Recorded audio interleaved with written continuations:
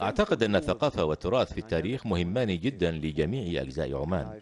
وأنا أعلم ذلك لأنني عشت هنا من قبل.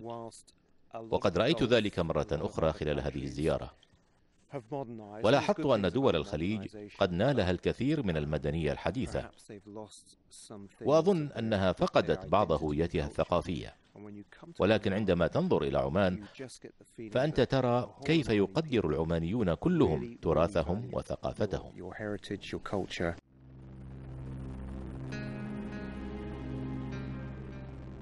تتجمع سحابة ويتساقط المطر فيعيش الناس.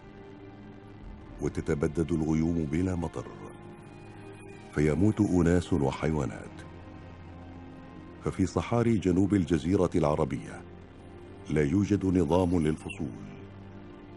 فلا صعود ولا هبوط في النسق بل قفار خالية حيث تشير الحرارة المتغيرة وحدها إلى مرور السنين. إنها أرض قاسية وجافة. لا تعرف شيئا عن اللطف أو الراحة. ومع ذلك عاش فيها أناس منذ أقدم العصور. أما الأجيال التي ولت فقد تركت حجارة سودتها النار في مواقع الخيام. كما تركت بعض الآثار الواهنة للأقدام المطبوعة على سهول الحصبة وفي أماكن أخرى مسحت الرياح آثار أقدامهم. يعيش الناس هناك لأنه المكان الذي ولدوا فيه والحياة التي يعيشونها هي الحياة التي عاشها أسلافهم من قبلهم. فهم يتقبلون المشقات والحرمان ولا يعرفون سبيلا آخر. هكذا تحدث الرحالة والمستكشف البريطاني ويلفريد ثيسجر أو مبارك باللندن كما سماه رفاقه من البدو العمانيين في كتابه الرمال العربية. والذي وصف فيه الأسفار التي قام بها في الربع الخالي وما حوله من عام 1945 إلى عام 1950 والذي اعتبرته مجلة النقاد البريطانية من الكتب التي تخلف تغييرا دائما في آراء المرء حول العالم. وفيه وصف مبارك باللندن رحلاته في الصحراء العمانية وغيرها ووثق لها ولما وقف عليه من طبيعة الأرض وصفات البشر. كما وثق شغفه الكبير باكتشاف مجاهلها محاولا فهم طبيعة العلاقة بين الإنسان والأرض بشكل عام والحياة في الصحراء العمانية بشكل خاص والتي أسرته بكل تفاصيلها.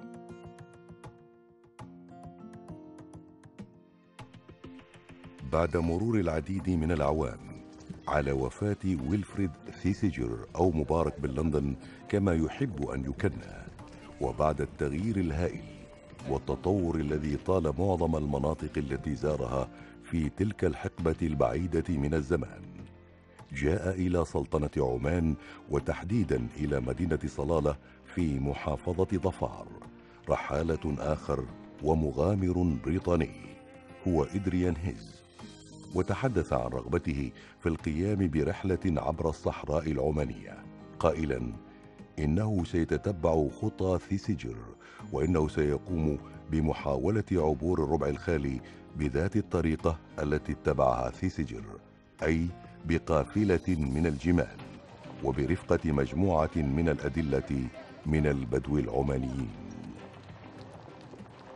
متنزه البليد. الأثري كان الموقع المختار للإعلان الرسمي عن رحلة إدريان هيز على خطى ثيسجر وقد بين هيز بعض التفاصيل حول الرحلة والمحطات التي ينوي المرور بها أو التوقف عندها على خط السير الذي سار عليه مبارك باللندن منطلقا من صلالة عبر وادي جرزيز مرورا بمنطقة عيون ثم عبر أودية غدون وملحيت وصولا إلى مقشن. ثم الدخول إلى مجاهل الربع الخالي معتمدا على أدوات بسيطة ومتزودا بزاد يسير.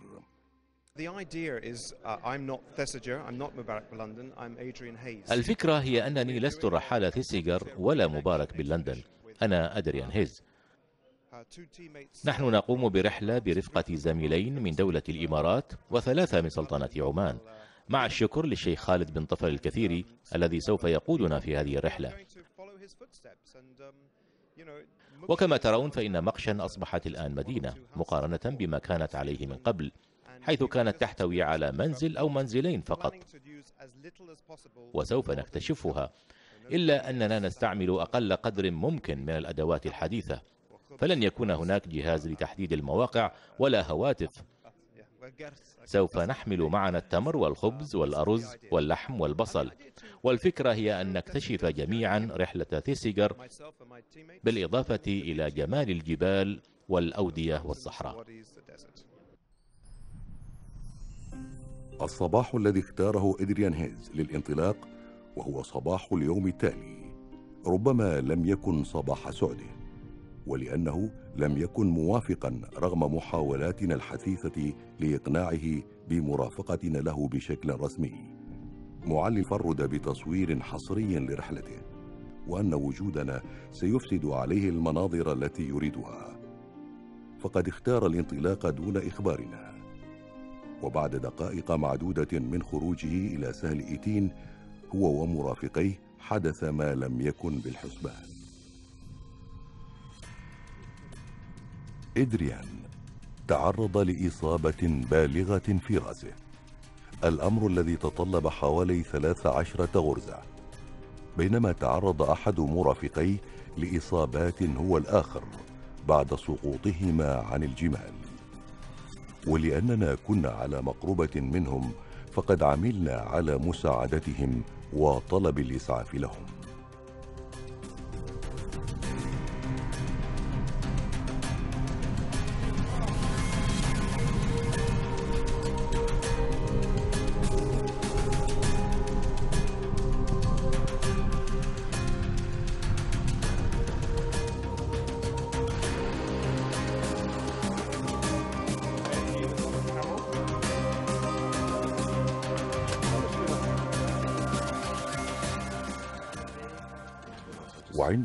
التقينا هيد في المستشفى قال إن ما حدث أن الجمال خافت من الناس والسيارات وخرجت عن السيطرة. على الرغم من أن المكان كان شبه خال من البشر في ذلك الوقت الباكر. أظن أن الناس كانوا يقودون قطيعا من الجمال ثم بدأوا بالركض كأنهم في سباق لرعاة البقر. كان الأمر جيدا بالنسبة لي إلى أن بدأت بالانزلاق. فقلت لنفسي إنه حان الوقت للنزول ولكن رجلاي ارتفعتا ووقعت مباشرة في الأرض على رأسي. وقد يكون السبب الفعلي هو أن طبيعة المنطقة كانت غريبة على الجمال التي لم تعتد الأرض ذات الحجارة والحصبة. وقد كانت هذه علامة فارقة بينه وبين ثيسجر الذي اعتاد أن تكون معه في أسفاره دائما إبل من المنطقة. التي يتواجد فيها حتى يتفادى مثل هذه الكارثة. الانطلاق الفعلي للرحلة كان بعد ذلك بعدة أيام وبعد تماثل إدريان هيز ورفيقه للشفاء ومع انحسار أمطار المنخفض الجوي.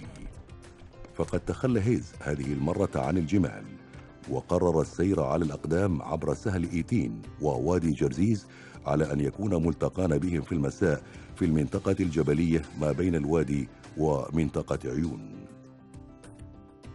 وفي وادي جرزيز الذي كان لا يزال يحتفظ بالكثير من الغطاء النباتي بعد موسم الأمطار دعا أحد رعاة الإبل الرحالة وصاحبيه لشرب الحليب الطازج وبعض الشاي ثم واصلوا سيرهم في الوادي باتجاه الشمال.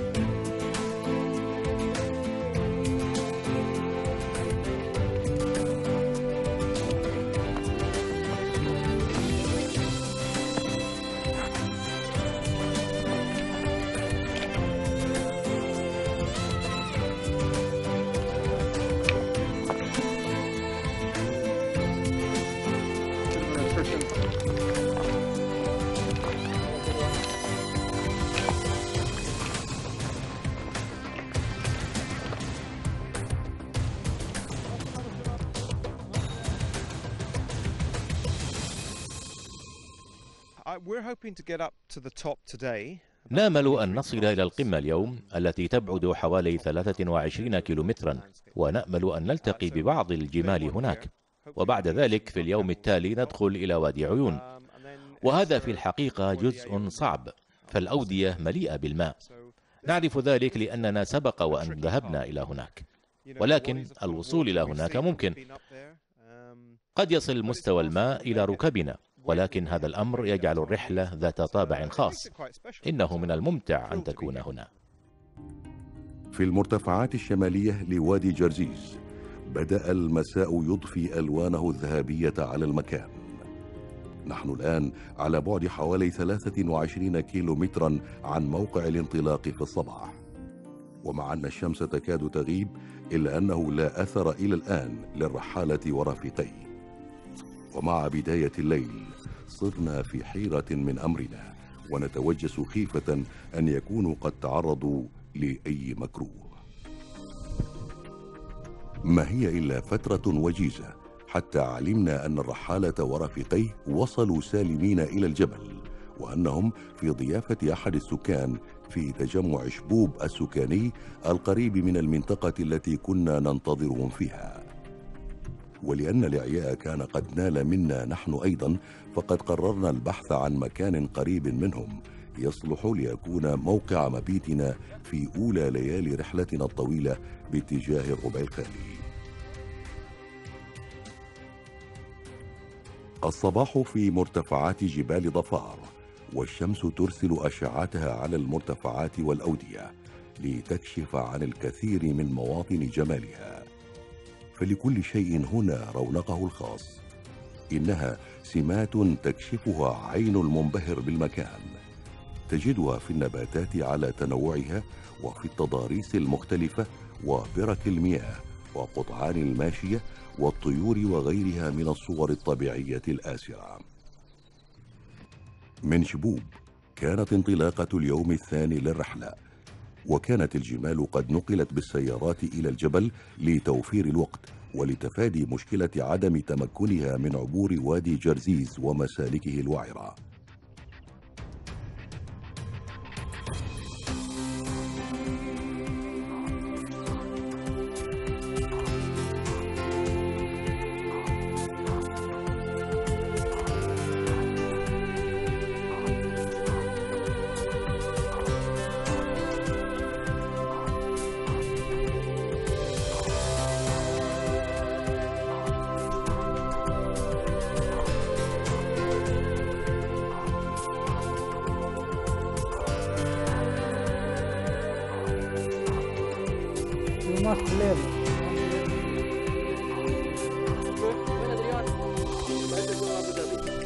هذا هذا شراب هذا.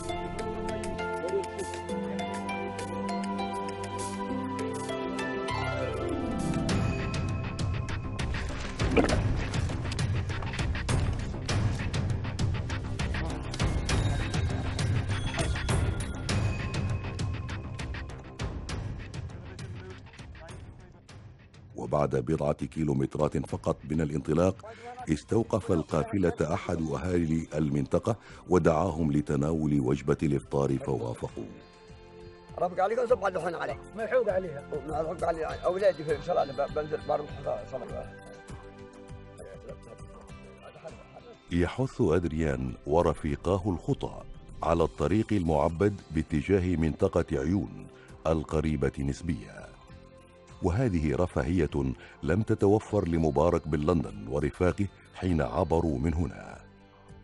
ورغم أنها بدايات فصل الشتاء إلا أن أشعة الشمس بعد العاشرة صباحا تصعب المهمة على راكبي الجمال ناهيك عن إرهاق الركوب ذاته. ويبدو أن أدريان هيز متماسكا ومصمما على إكمال الرحلة.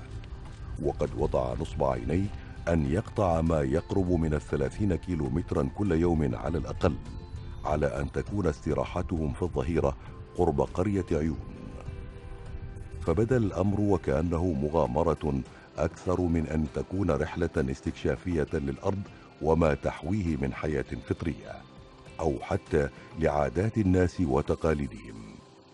The start was pretty normal big wadi. Uh, البداية كانت عادية جدا ولكننا واجهنا بعد ذلك منطقة تشبه الغابة وتسلقنا الصخور. لقد كانت صعبة وحارة ورطبة. كان اليوم الأول شاقا وطويلا. اليوم الثاني كان أفضل حيث وصلنا إلى قمة التلال ثم خلال وادي عيون. وادي عيون منطقة جميلة فكل شيء ما عدا الأرض كان يغرق. لذلك كان يوما مريحا. بالأمس ذهبنا إلى وادي عيون وقطعنا مسافة 12 ساعة ومشينا على أرض لم تكن مريحة للجمال وكان الجو حارا جدا. لا أمانع أن أمشي 12 ساعة أو 24 ساعة أو أسابيع أو أشهر ولكن الحرارة كانت مرتفعة جدا. لقد كان يوما شاقا. ويبدو الفرق جليا هنا بينه وبين ثيسجر الذي وصف كل ما رآه في أسفاره.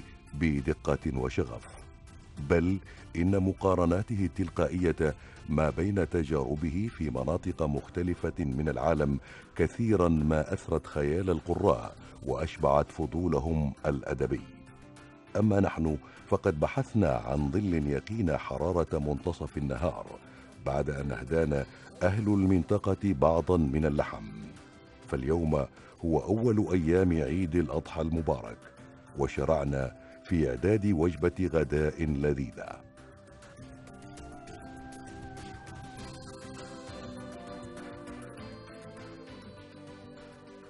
مع زوال الشمس وحين بدأت الحرارة في الانخفاض واصل هيز ورفيقاه مسيرهم باتجاه وادي غدون حيث سيبيتون ليلتهم في الوادي عند بئر تسمى مشديد وهي تحريف لفظي للبدو لكلمتي ماء شديد.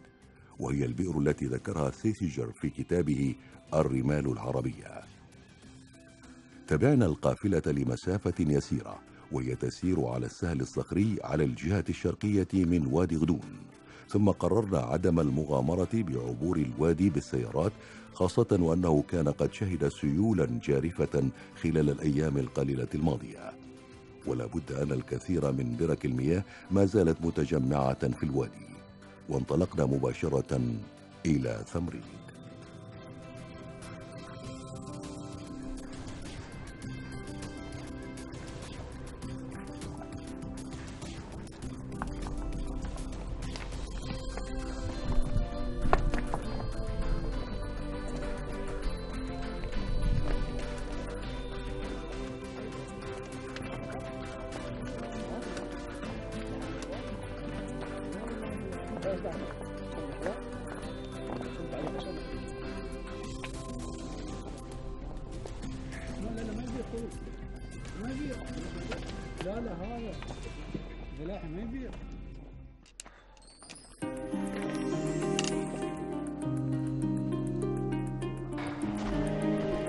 السلام عليكم. ما فيها ما فيها مشكله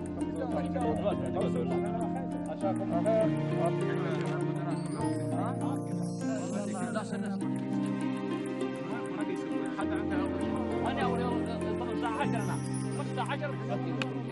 طول عمرك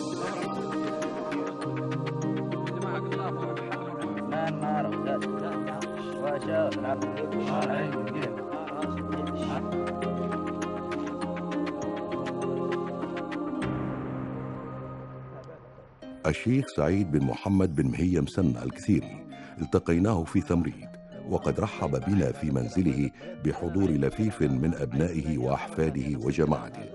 وقد حدثنا عن ذكرياته حول رحلة مبارك باللندن عبر هذه المناطق باتجاه مقشن ثم إلى الربع الخالي. مبارك باللندن له وصل في صلالة اجتماع بالسلطان وطلب منه وفد يروح لبر. وكنا إحنا في صافته امروا علي أنا أروح معهم. دليل في الرمل في الربل الخالي انطلقنا من المتحف صباحا ولكن هذه المرة باتجاه الجنوب. لنقف على جماليات وادي غدون الشهير الذي يمتد مجراه إلى رملة مقشن على بعد مئات الكيلومترات شمالا والتقينا بالقافلة عند موقع بئر مشديد وكالعادة كان الأهالي قد ذبحوا بعض الماعز إكراما للضيوف.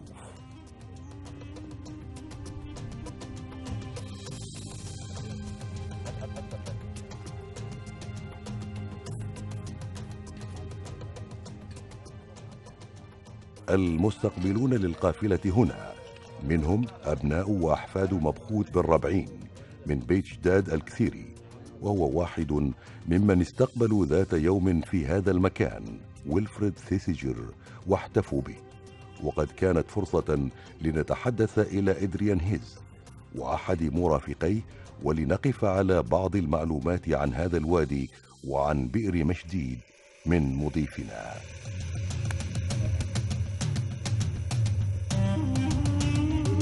بعض الأشياء.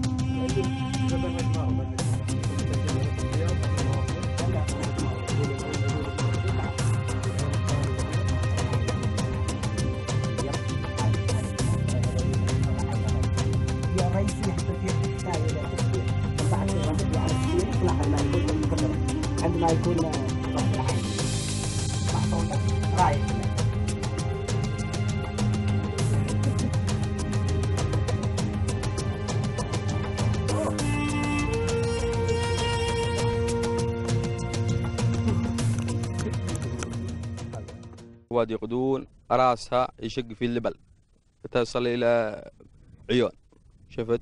ومفتكها شمال إلى ولاية مقشن شفت؟ وتميز بكل ما شاء الله فيها أشجار وفيها غزلان وفيها حياة أثرية شفت؟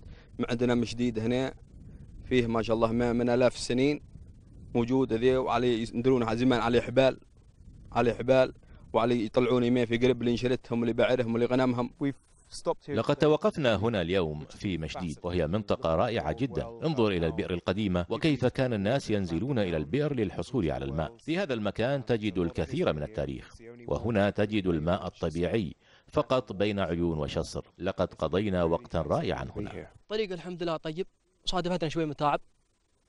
أه طلعنا من وادي جرجيز اللي هو كان هو تقريبا أصعب أصعب مسار علينا.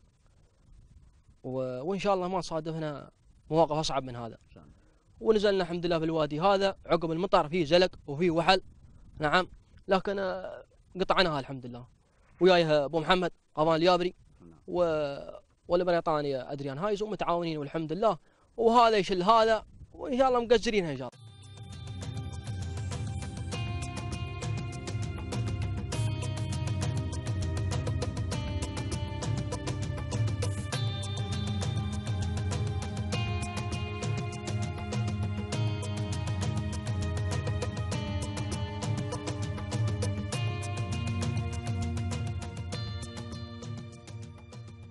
وادي غدون واحد من أجمل الأودية في هذه المنطقة وأشهرها بتنوع الحياة الفطرية فيه ما بين الحيوانات البرية على اختلاف أنواعها وخاصة الغزلان العربية والأشجار والنباتات المختلفة إضافة إلى التكوينات الجيولوجية على ضفتيه والتي تشكلت بفعل عوامل التعرية على مر السنين.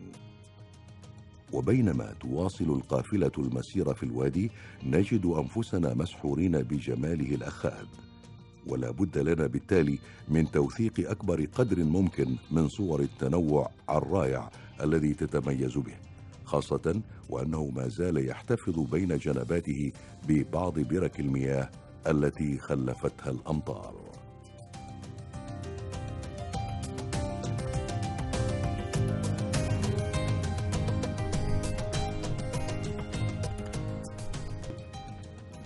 يقول ويلفريد فيسيجر في كتابه الرمال العربية لم أكن أرغب في اجتياز الربع الخالي بسيارة ولحسن الحظ كان ذلك مستحيلا في زمن أسفاري لأن القيام برحلة في سيارة عندما كنت أستطيع القيام بها على ناقة فإن من شأنه أن يحول المغامرة إلى عمل بهلواني. ويبدو أن إدريان هيز يقوم بعمل بهلواني بالفعل باستخدامه وسائل الاتصالات الحديثة والسيارات في الوقت الذي يفترض فيه أن يتبع خطى من سبقوه من الرحالة الذين لم تتوفر لهم كل هذه الإمكانيات من الرفاهية.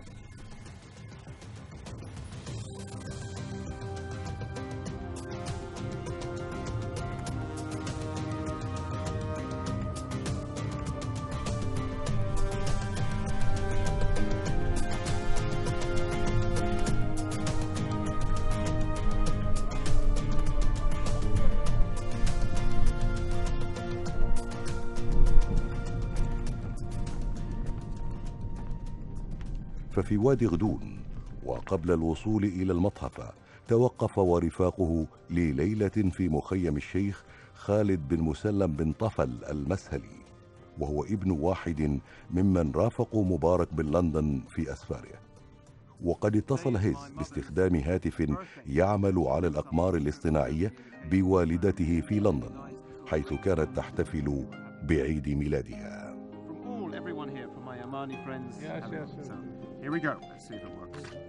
Happy birthday today.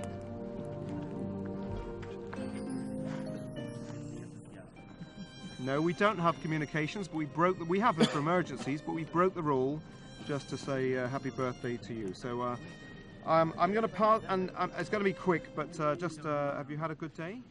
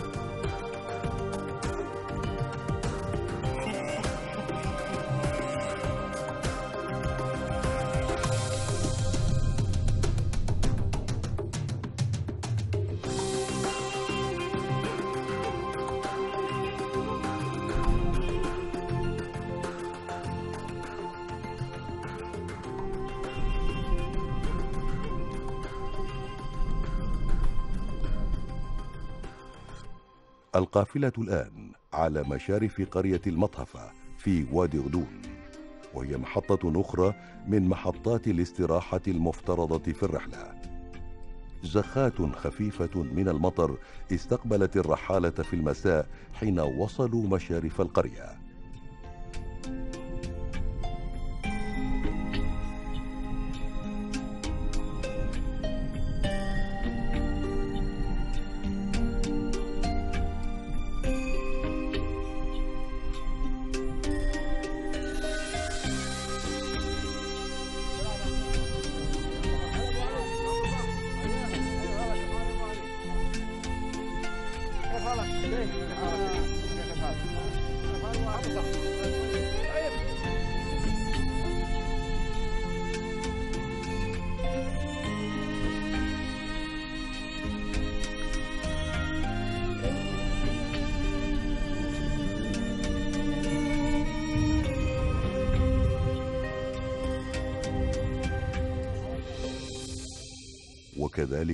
فعل الأهالي حيث أعدوا وليمة كبيرة اجتمع فيها كثير منهم وممن حولهم من المناطق. وبعد العشاء جاء دور الفنون العمانية المعروفة في بادية ظفار من الهبوت وغيرها. شارك فيها الجميع بمن فيهم إدريان هيز ورفاقه.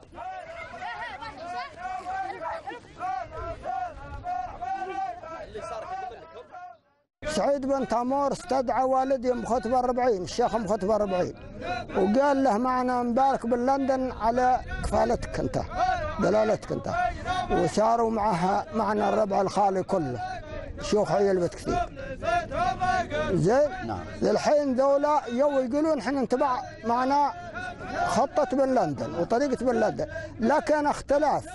كان أول نعرف في قبايل كل قبيلة معنا تروح في محلها في وطنها. التاء تعديه تستلمها القبيلة الثانية.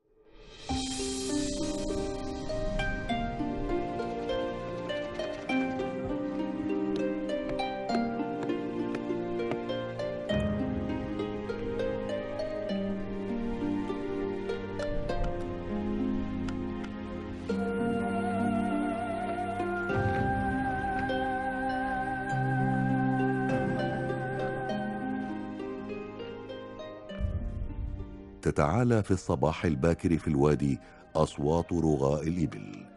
وتظهر حركة نشطة لإعداد القهوة العمانية وتجهيز الإبل لمواصلة الرحلة باتجاه ولاية مقشن على بعد حوالي 270 كيلومترا باتجاه الشمال عبر العديد من المحطات المثيرة في أودية وشعاب وأراض مترامية الأطراف ربما لم يطأ بعضها آدمي منذ زمن طويل.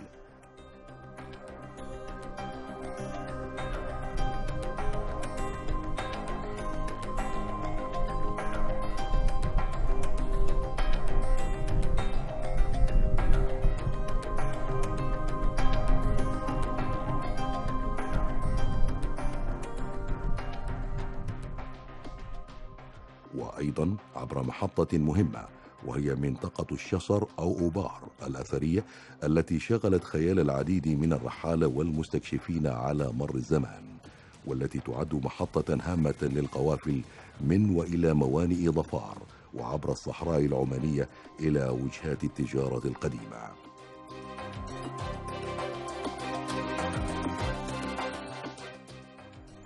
رحالة عمانيون ذو خبرة ودراية بالتعامل مع ركوب الإبل وسوسها في قوافل لمسافات طويلة ولأيام متواصلة ينضمون اليوم إلى القافلة.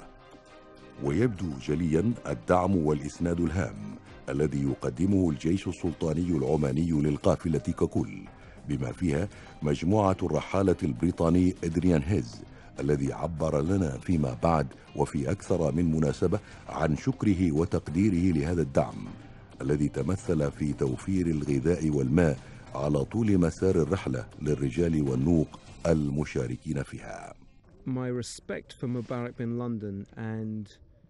إن احترامي لمبارك بن لندن والبدو الذين قاموا بالرحلة قبل 65 عاما أكبر مما تتصور نعم كان هناك آبار الماء التي يحصلون منها على الماء والتي أصبحت الآن جافة أو أصبح الماء غير صالح. نعم كان لديهم الكثير من الجمال حوالي خمسين جملا يستطيعون أن يحملوا عليها مؤونتهم. ولكنني أدركت أن تلك الجمال كانت بحاجة إلى الكلأ والماء. وما فعلوه قبل 65 عاما كان بأقل بكثير من الأدوات التي لدينا الآن. نحن لدينا هنا سيارة دعم مريحة وفي الحقيقة من صلالة إلى مقشن كنا نركب على الجمال كل عدة أيام فقط. ومن مقشن إلى حدود الإمارات كانت السيارة معنا لأنهم كانوا في حاجة إليها. هذا لم يتوفر لهم قبل 65 عاما. عادة عمانية متوارثة حرص أهالي المطهفة على إحيائها وهي مرافقة الضيوف حين يخرجون من مناطقهم حماية لهم وحرصا على سلامتهم حتى وصولهم إلى منطقة آمنة كأن يصلوا إلى أرض تابعة لقبيلة أخرى أو حتى يعبر الضيف عن عدم حاجته للمرافقة. ومع انطلاق القافلة من المطهفة رافقهم اثنان من الأهالي على ناقتين على أن يبقيا مع القافلة حتى وصولها إلى الشصر.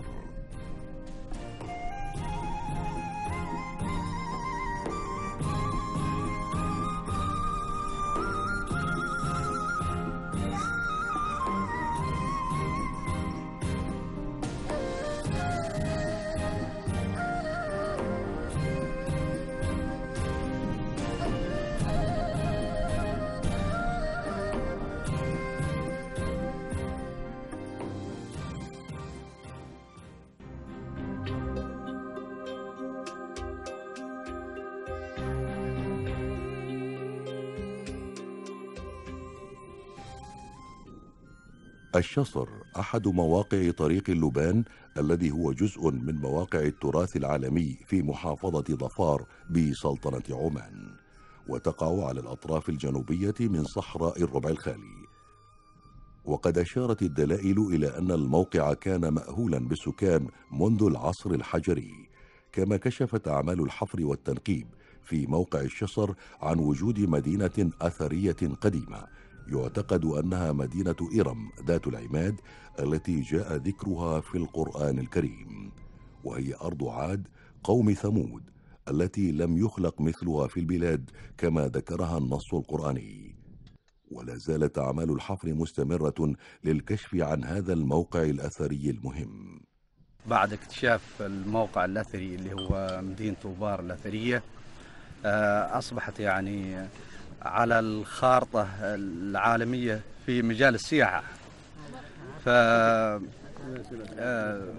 الحمد لله يعني برضه المنطقة يعني يوجد فيها مخزون جوفي كبير يعني للمياه ويعني أصبحت من المناطق السياحية في النقد في محافظ ظفار. فكان في الحياة السابقة المياه ما في إلا ثلاثة مياه.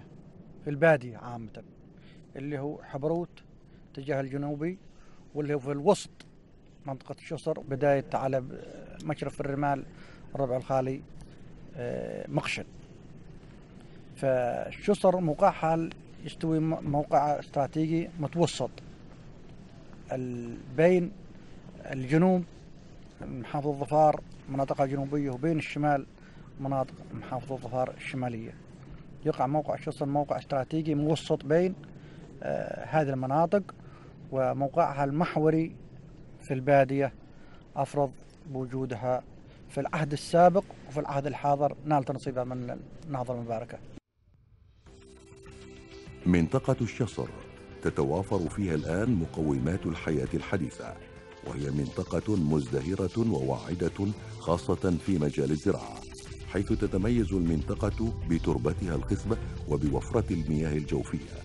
وقد اتسمت السنوات الأخيرة بحركة زراعية نشطة وانتشرت المزارع في هذه السهول التي تنتج محاصيل متنوعة من الحشائش والخضار والفواكه.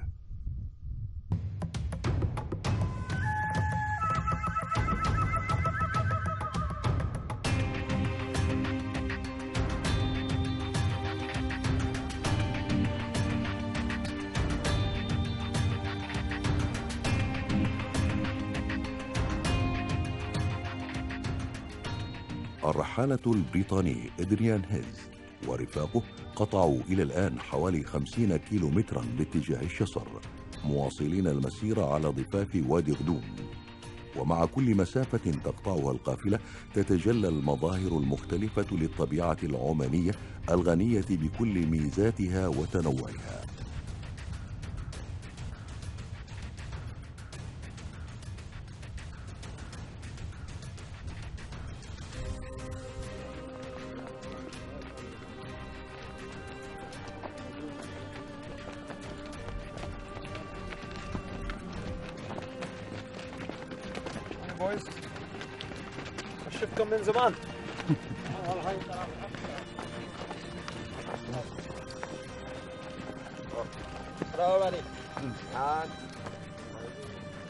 لا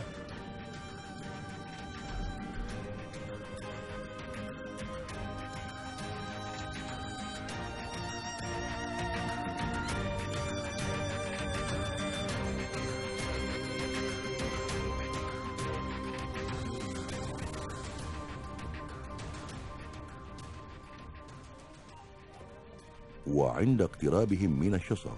استقبلهم أحد الأهالي ليرحب بهم ويدعوهم ليرتاحوا هم وإبلهم قدر ما يشاءون. فرحة الوصول إلى المناطق الآهلة بالسكان كبيرة جدا في قلوب المرتحلين على الجمال في الصحراء لنيل قسط من الراحة والتزود بالماء والطعام. وقد تحدث من سنحت لهم الفرصة لاستكشاف الصحراء في عمان من الرحالة قديما وحديثا عن كرم أهل عمان وحبهم لاستقبال الضيف والحفاوة به. كذلك كان حال القافلة حين وصولهم الشصر إذ استقبلهم نائب والي ثمريد في المدينة ولفيف من الشيوخ والأهالي. ودارت الأحاديث حول الرحلة وما كان منها إلى الآن. ودارت على الجميع فناجين القهوة العمانية الشهية.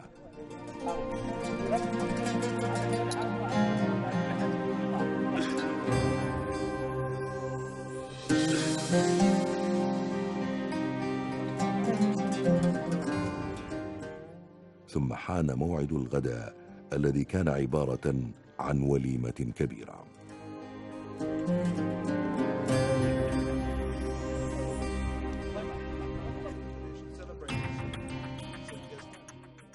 في المساء. بعد أن ارتاح الجميع كان اللقاء مجددا في عزبة الشيخ سعيد بن مسلم سن. وبعد العشاء دارت الأحاديث مجددا على ضوء نار حطب السمر حول ما كان من أخبار الرحالة الذين زاروا الشصر أو مروا به. خاصة مبارك بن لندن وذكريات البعض من كبار السن ممن عاصروه أو عاصروا من شاركه شغفه بالصحراء من أهلهم وذويهم. وقد كانت فرصة لنا من جديد لنتحدث مع الرحالة إدريان هيز حول رحلته وبعض ذكرياته عن الشصر